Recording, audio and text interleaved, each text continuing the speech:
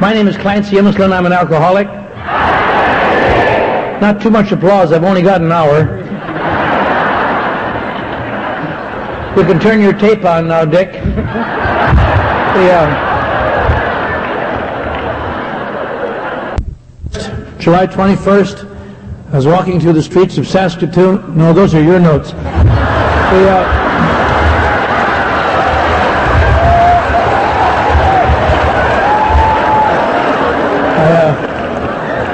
I'm sorry, I don't know why I talk.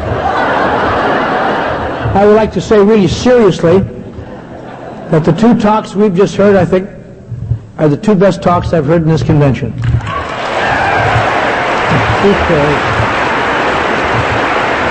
I, uh, I hope the talks tomorrow morning in the Kingdome are as good as those were about Alcoholics Anonymous, because that's what we're here for. I'm uh, very glad to be here this morning. Uh, I'm glad our Southwest trustee Jan, Jan is directing the meeting. Her accent has a warm and wonderful spot in my heart. When I lived in El Paso and directed a grand opera at the university there, and shortly after that I was taken to the psychiatric ward, and uh, someone with that same accent says, "Boy, we're going to hip you." and I I was naive enough to think that that meant some constructive growth process and turned out to be a lot of electric shock treatments. And they put me away in Big Spring State Mental Hospital where I spent a lot of time and and I would like to get even with the people who put me there, but when you've had a lot of shock treatments, you forget who they were. You just the one thing I'll say about that experience, though, they, they I was not put in the nut house for drinking. I was put in there for psychiatric reasons, and they had me in there as a suicide. My diagnosis was split personality, bad schizophrenia. And I've often said that I'd like to go back to El Paso sometime to the El Paso County Hospital and find that old psychiatrist who must be pretty old and feeble now. I should be able to move him around pretty good. and say, you old quack. You, know, you call me a split personality, a dual personality, you ought to use your license. God, if I could have got my personalities down to two, I'd have made it.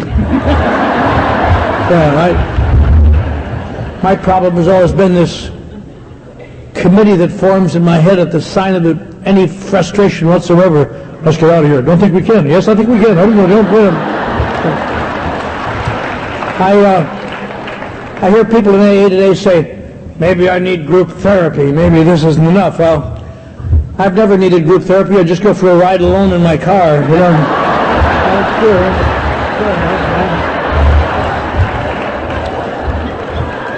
But we are here this morning to discuss what I think is probably the most, in my opinion, the most important single aspect of recovery, which is the primary purpose.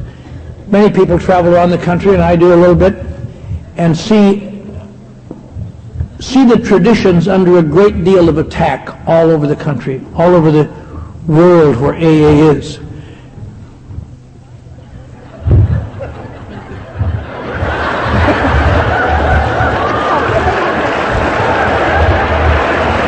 Well, now I've lost my place and have to start over again. My name is Clancy. I'm but this is a serious proposition because, in my opinion, the language, the language that we speak here is what makes Alcoholics Anonymous, that differentiates it. The, uh, we sometimes forget what a, what a fragile gift this was, as mentioned last night at the Kingdome, that there were 10 calls made. The 10th call was the one that got through.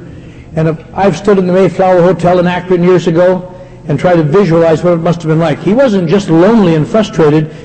The deal he came up to Akron on, he had just blown. He didn't have enough money to get train fare back to New York. He was wiped out, and he stood in the lobby of this Mayflower Hotel, and over there, there's a door that says cocktails and little red neon sign, cheap little neon sign, and he started to walk in there, as he said later, and over here at the wall are some telephones, but he promised his friends in New York he'd go over and make a call, so he called and got hung up on and rejected several times and treated like a piece of junk.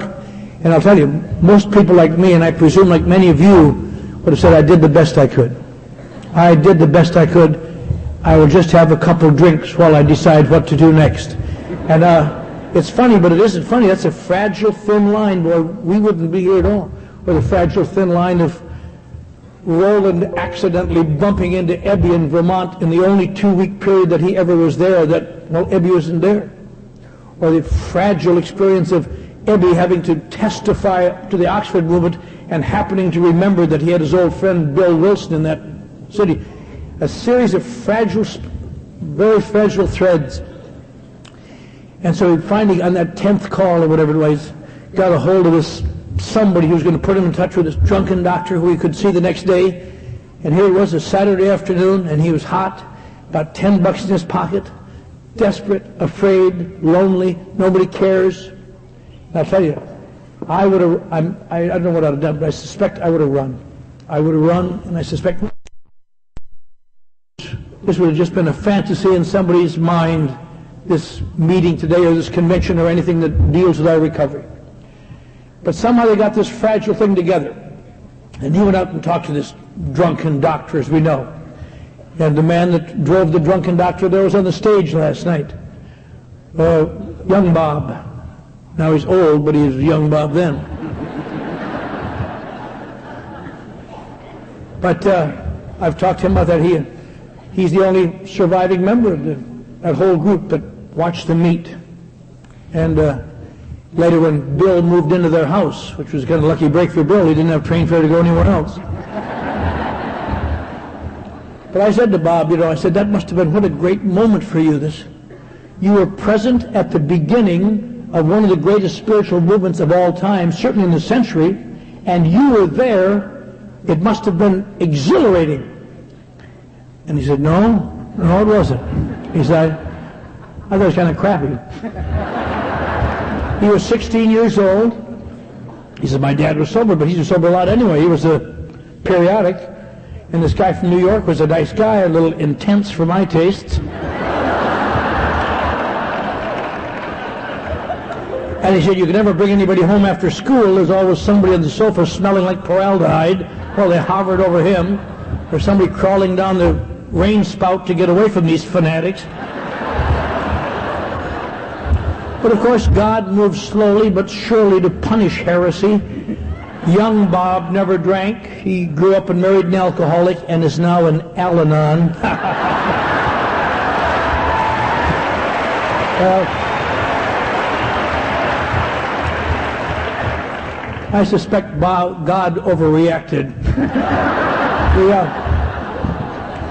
But I was with Bob and his charming wife last Saturday night in Wichita Falls, Texas, and we laughed about this, and it's, a, it's always a touching story to me. But what, what was the big deal? I mean, you hear about, so here's Bill Wilson and Dr. Bob stay sober a couple weeks. They sit around and discuss spiritual matters, Oxford Group Spirituality Matters. And pretty soon, Dr. Bob is drunk again on a train. And pretty soon he sobered up again. In fact, his sponsor bought him his last drink to steady his hand so he could do the surgery he had to do that morning. I told my sponsor about that story years later, and he, uh, he said, I don't think you're going to do any surgery. Sweat it out. uh,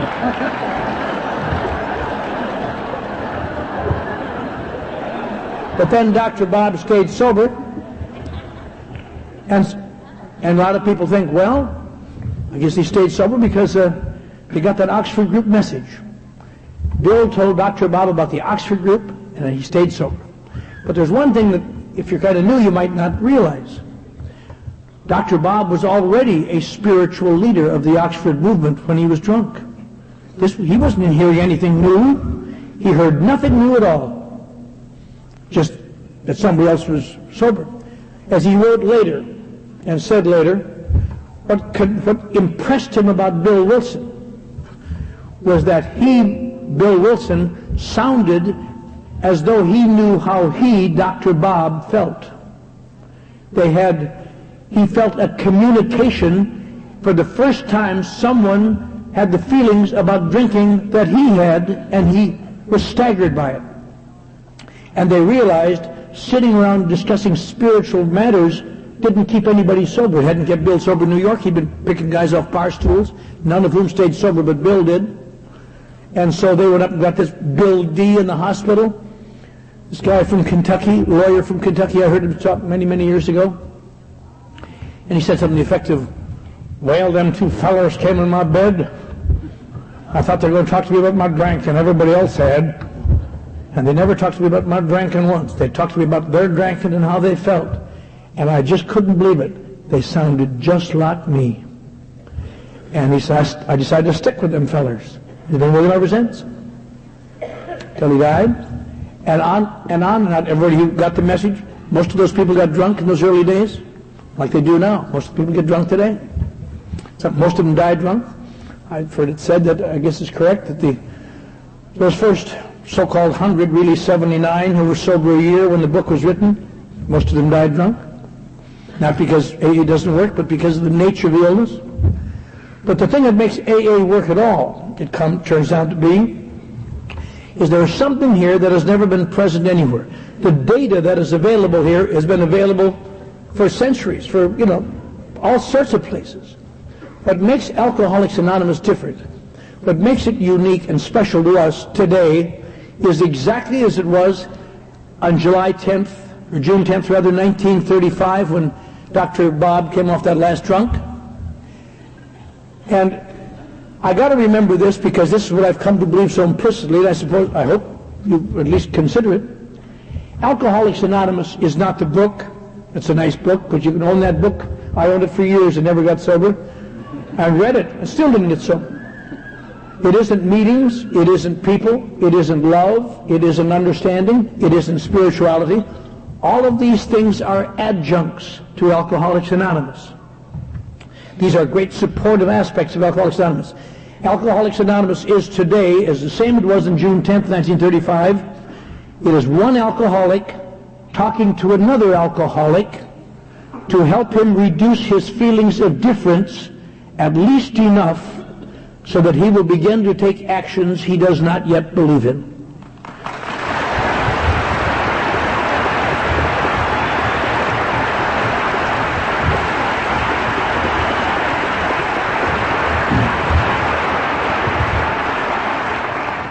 And that really is what's lost when we attempt to carry the message of Alcoholics Anonymous to people who are not alcoholics.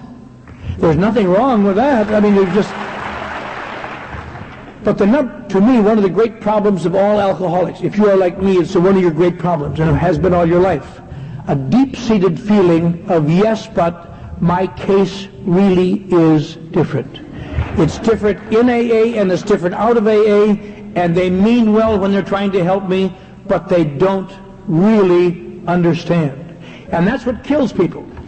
Monday, uh, you know, I go to work in the morning and I step over bodies dying outside my office. And you would think that I should be able to help them, but they are immersed, they are beyond help in their immersion in yes, but my case is different. And anyone who goes out to drink knows that their case is different. Chapter 3 describes people whose case is different. Because they all can prove in the last analysis, my problem really isn't alcohol. I have deep-seated feelings and emotions and I, you don't understand. I know you can help me do drinking. I was in and out of AA for years, had great people try to help me. But in my mind's eye, I was able to fend off everything.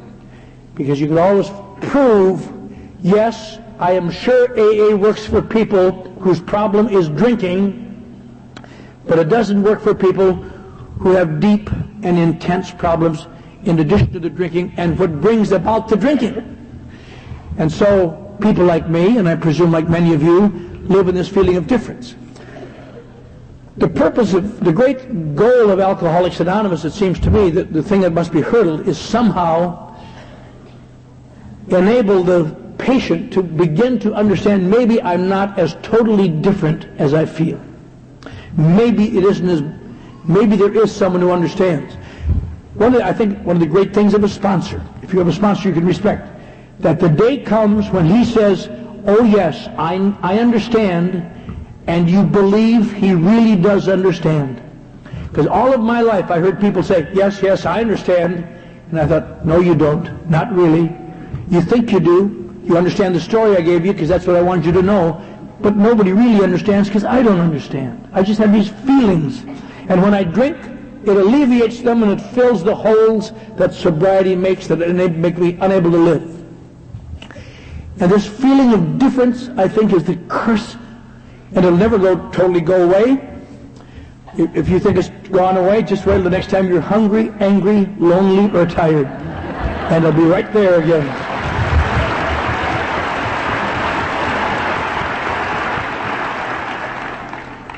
And we all have days where things aren't working out, and the signal comes again. Maybe you're not, maybe this isn't for you after all. Mm. Well, maybe you've just wasted 31 years on a false illusion.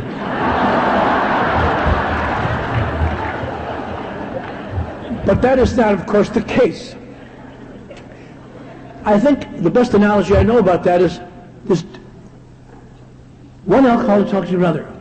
Why, you know, today many treatment facilities, I guess, as Al said, they're trying to do the best they can for their patient, or they're trying to do the best to at least get some kind of recovery ratio. So they send people to Alcoholics Anonymous. In our area, and I'm sure in your area, because I hear it all over the world, they take people who are not alcoholics at all and say, just go tell them you're an alcoholic, then they can't throw you out. Whatever your problem is, overeating, narcotics, whatever it is, just tell them you're an alcoholic. And it sounds good. They come to me and say, I'm an alcoholic, can't throw me out. But they never get it. And they live in pain and they live in feeling different and they exude something. You know, it's an amazing thing how that difference is. Al alluded to it this morning. But the non-alcoholic trustee last night, wonderful man, chairman of our board of trustees, just a fine man, a hardworking man.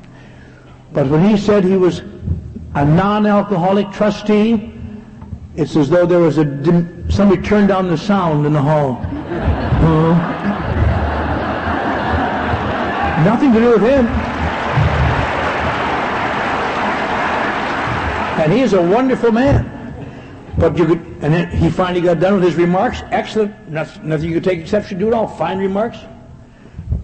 Flinched a little bit when he said we. But, uh,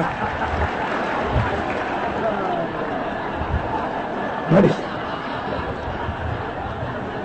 but he got done, and he said, and now uh, I'd like to introduce Ruth B. And you could just feel the surge come back up. Ah! Because there's that identity. It's an odd thing. People like us who've spent our lives fighting against the term alcoholic get to a point where the worst put down you can give to someone is to say,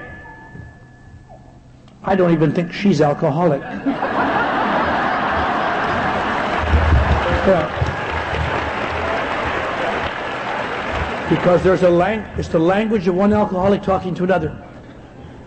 You, you know, all of the all of the major other 12-step programs have been started by people who were in AA, who felt they other people like them needed help. The guy that founded Gamblers Anonymous, member of AA, I knew him well. Married to a very distinguished, now at that time married to a woman who is now the longest sobriety of any woman in the world. And he founded GA. And it was just for people who needed identification. Uh, OA was founded by within a couple blocks of the 6300 Club of Los Angeles. Uh, NA was founded by members of AA in North Hollywood Clubhouse. All of these were founded by people who realized they could not identify with drinking. In fact, I began to get my first understanding of that about, about 1960. OA didn't have many recoveries at that time. I don't think they had any by the looks of them. I'm not judging, I'm trying to tell you. Yeah. I'm glad the uh, I'm glad the signer didn't see that gesture. yeah. Oh, you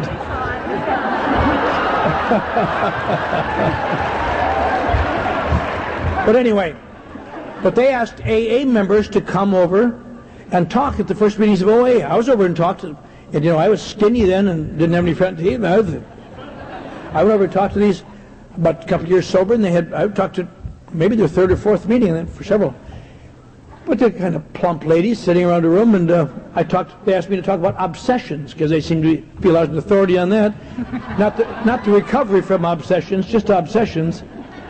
And uh, I talked at this OA meeting, and I sat down, and I thought, I think that really helped. And then they talked, and I was appalled. I never heard of anything like that. I mean, this woman said, and then I, I ate this whole chicken, and I, I ate a cake, and I thought to myself, you sick puke. Yeah. Yeah. And some woman, some woman said, I ate till I couldn't eat anymore. I went and put my finger on my throat and made room for more food. And I thought, boy, you ought to be in a nut house, you know. I can understand doing that drinking, but eating? Yeah. Why don't you just eat like a man?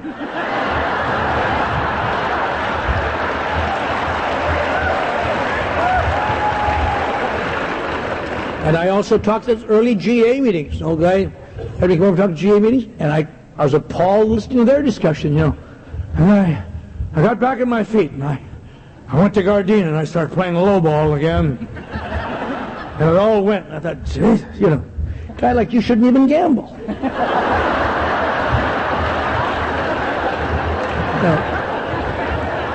But I'm going to tell you something. I was there talking about obsessions to people that I intellectually understood their problem. But I could have sat till next Christmas and I would never have identified with the nature of their relief because it doesn't do that to me. That's why we have alcoholic to alcoholic.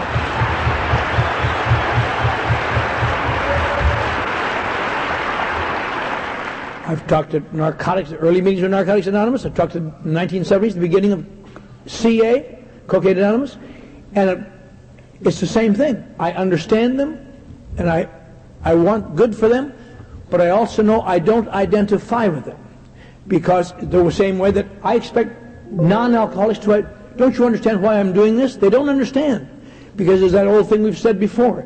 The difference between non-alcoholics and me has a number of things, but it boils down to one thing. When they drink alcohol, it goes and they say, no more for me, I'm starting to feel it. and when I drink alcohol, it doesn't go it goes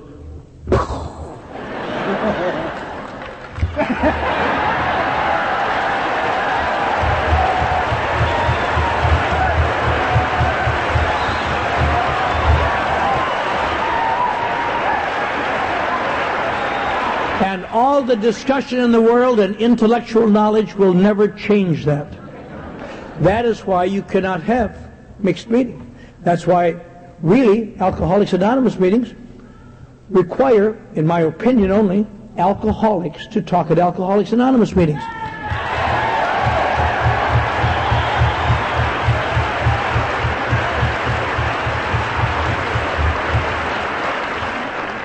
I don't want to hear a doctor. I don't want to hear a clergyman. I mean, I love them. I don't want to hear an Al-Anon. I don't want to hear an Alateen. I want to hear an alcoholic talking to alcoholics, explaining what to do about it.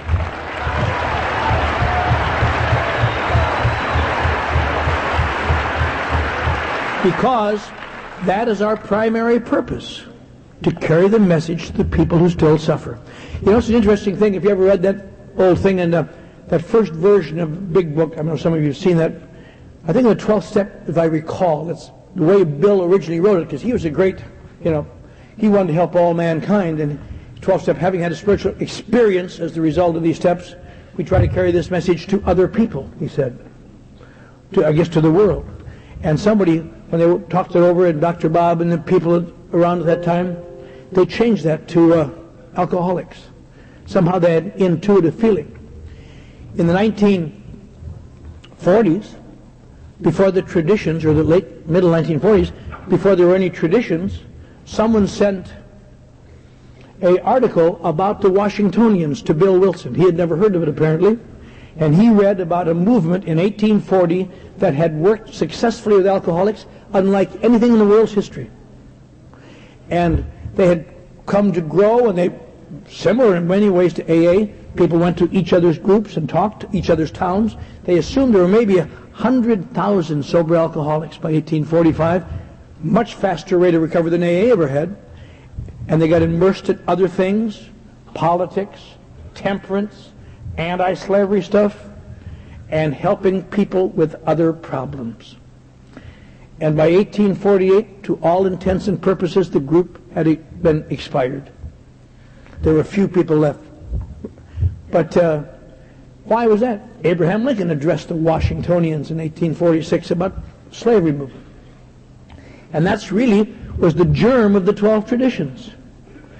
He began writing the 12 traditions after he, and he, much of the experience the Washingtonians had became part of our traditions because he had seen it in AA. I guess he hadn't quite crystallized it about getting involved in other matters, about doing other things, about being being caught up in less. You know, one of the things that killed the Washingtonians is because they vied for who would get the most publicity for the speakers and so on. And they, that's why one of the reasons we got our anonymity as a spiritual concept. We wouldn't vie for that sort of thing. And certainly was the great one. One of the great ones is our primary purpose is to carry the message of Alcoholics Anonymous to alcoholics who still suffer, drunk or sober, I suppose. Doesn't mean necessarily drunken alcoholics. It means those of us who are suffering, and each of us suffer from time to time and need the same message we already know. But it's the language of Alcoholics Anonymous. That is the primary purpose of why we are here and why we do these things. We say, what we come to learn about sobriety? I'm going to tell you something. I have not heard anything new that I can think of in an AA meeting in a quarter of a century. I really haven't. I haven't heard anything new. If I'm there to hear new facts every time and new information, I'm out of luck. What I'm here is to hear the language of the heart, as they described it in an international convention a few times back. The language of one alcoholic talking to another alcoholic to remind me I'm not so different, that I'm not as big as I think I am, that my problems are not so gross, and to center me back into a feeling of, yes, I am who I am, and it's all right to be me. Now, in order to bring this about, we must have Alcoholics Anonymous, I suppose, as Al has said, and Jan has said, and I'm sure we, most of us believe. I'm sure anyone who would go to a meeting like this is a right-wing fascist pig anyway. we're not, we're not uh, converting anybody. They're all at the real meetings. but uh, the, uh, I don't know why I said that. Take that off the tape, Nick.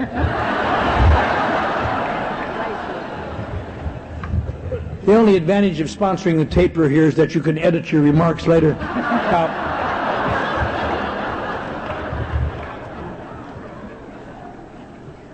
But that's what we do here. We gather together, share our experience, strength, and hope. And, and the primary purpose is, as it always was, to help us reduce our feelings of difference. And we will never completely reduce them, and they will always be there, and we will always face conflicts in our lives that will bring them back to varying degrees. But there's something to do about it. And that's why it is terribly, terribly dangerous, in my opinion, to have people who do not carry this message. As much as we love them or need them, I sit in meetings sometimes, places now, and I hear a guy get up and talk about narcotics for 55 minutes, and he talks about the steps, he talks about purity, but I really haven't identified with him anything. I've identified with some of the things he does, but I think about the newcomer. The newcomer does not identify with that. I would identify with that. What finally enabled me to identify with it is that a man finally convinced me that he knew how I felt, and on that basis I began to take actions I would never have taken for anybody else. And I know the language is comes this way. Don't. This is the applause signal, you dummy.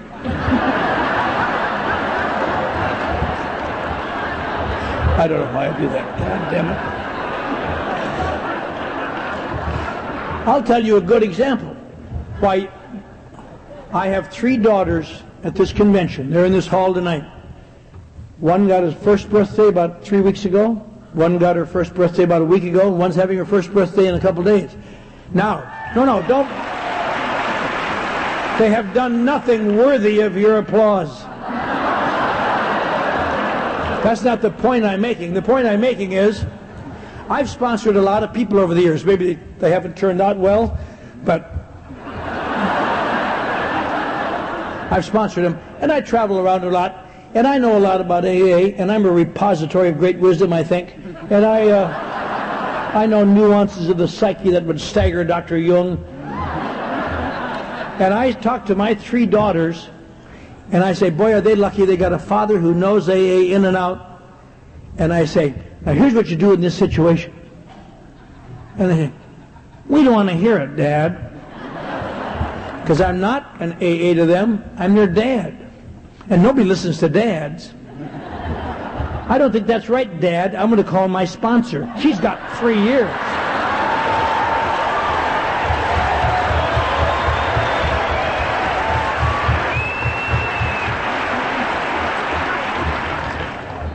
My oldest daughter and I are sharing a room at this convention. She's an attorney in, uh, or a DA or something in Albuquerque. Now, this morning, you know, I'm getting up and I'm feeling good and positive. I'm saying to her, now here's what we're going to do. We'll, we'll get a hold of the other kids and we'll go over and have a, and I, she demurred and I pointed out a little more strongly.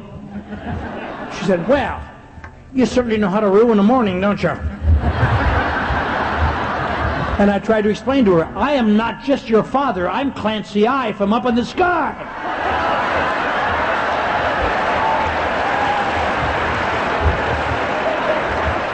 But it's a perfect example. My intellectual knowledge doesn't help. She has to identify with a sponsor who has saved her bacon. And all of those girls do, and that's exactly the way it should be. That's why fathers can never help children, and children can never help parents, because there's all sorts of emotions involved. It boils down to something else. And that also, of course, is the same reason why in our traditions it specifically states. We have special groups in the international lawyers in AA, the international doctors in AA, air, airline birds of a feather, they all have meetings here, uh, actors, so on. And it sounds like that should really be a great thing because they can get together with peers and they can really do it. But every one of those organizations say, we only are going to help you identify. You've got to get into Alcoholics Anonymous. You've got to get beyond this. Do you know why that is? Because if they stay there, they will reinforce their feelings of being different. It's different to be a pilot. And I'm, I'm not, I'm not saying that as an attack, but that's what they say within their own organization. The successful members say that. Uh, Dr. Hal M., who's a guru in the Washington area, he forces them out of there quickly and gets them out. And that's why we got to, we must take the actions that help us reduce the feelings of being different, and we must get the information from people who we believe understand how we feel. It's not an attack on anybody. But that's why they formed other organizations so that they can so they can identify and take actions they would not ordinarily take based on intellectual understanding or appreciation. The, uh, the bottom line, the bottom line for each and every one here that we have to remember when we get out of here, when we have to, when we go forth into the, back into the world tomorrow afternoon, we're not going out there to be the harbingers of saving the world. Sometimes people say, in a few years, AA will take over the world. Everybody will live by these principles. You can't even get a guy dying from alcoholism to live by these principles. know. We better not worry about whether the city council in Chicago is going to do it. We better see if I can do it. But we're not, we can be do better, we can live more comfortably, we can live with more understanding, we can live with more appreciation, we can try to assume that uh, the prayers are better to be under, to understand than to be understood and to love and be loved and so on. But the primary purpose of Alcoholics Anonymous, in my opinion, as I said before, and I'm going to say it as I close early, I might point out. she has her finger over the red button. I, I ignite in four minutes. The primary purpose for me to go forth is the same as it was when Bill Wilson sat and talked to Dr. Bob, coming off a drunk in Akron, Ohio, and then when the dog Bill D, and on and on up until the time your sponsor talked to you and you talked to a newcomer. And it's this. My primary purpose is not to be wonderful, loving, spiritual, kind. My primary purpose is to be part of the chain of one alcoholic talking to another alcoholic to help him reduce his feelings of difference at least enough so that he will begin to take actions that will help him stay alive for the rest of his life. I am most pleased to be part of that chain. I'm pleased you're part of that chain. I'm pleased to be part of this international convention. First convention I went to, the speaker I heard was Bill Wilson and Ebby. And that turned me around, and today I feel the same feeling. I feel love and enthusiasm and